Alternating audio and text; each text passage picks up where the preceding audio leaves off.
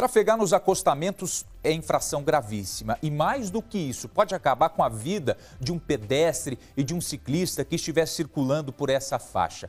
Dá uma olhada só aqui na tela, neste trecho aqui, ó, desses dois contornos, contorno leste, contorno sul, entre a BR-277 e a BR-376, neste trecho a nossa equipe flagrou vários casos que podiam ter acabado em tragédia.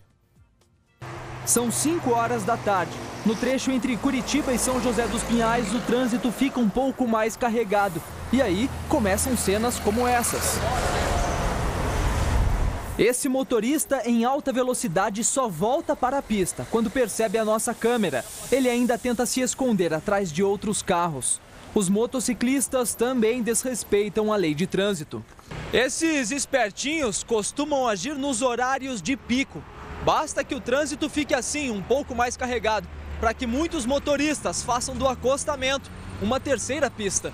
Transitar ou ultrapassar pelo acostamento é infração de trânsito gravíssima. São sete pontos na carteira, além da multa, que pode chegar a quase R$ 1.500.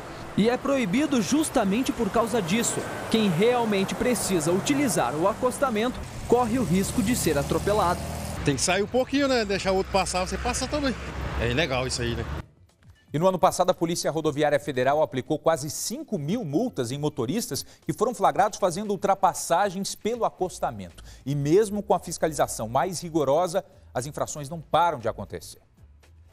No trecho do contorno leste, próximo ao zoológico de Curitiba, os flagrantes começaram a aparecer em menos de dois minutos após a chegada da Polícia Rodoviária Federal. Quando percebiam a presença dos agentes, os motoristas voltavam para a pista, mas não adiantou. Transitar no acostamento é infração gravíssima, mas são sete pontos na carteira. É, nós temos muito pedestres, ciclistas que transitam no acostamento e o trânsito de veículos nessa, nessa faixa é, causa um grande número de acidentes em nossas rodovias. A gente vem aumentando bastante a fiscalização, é, que é muito importante para evitar esse tipo de, de situação de condutor transitando no, no acostamento.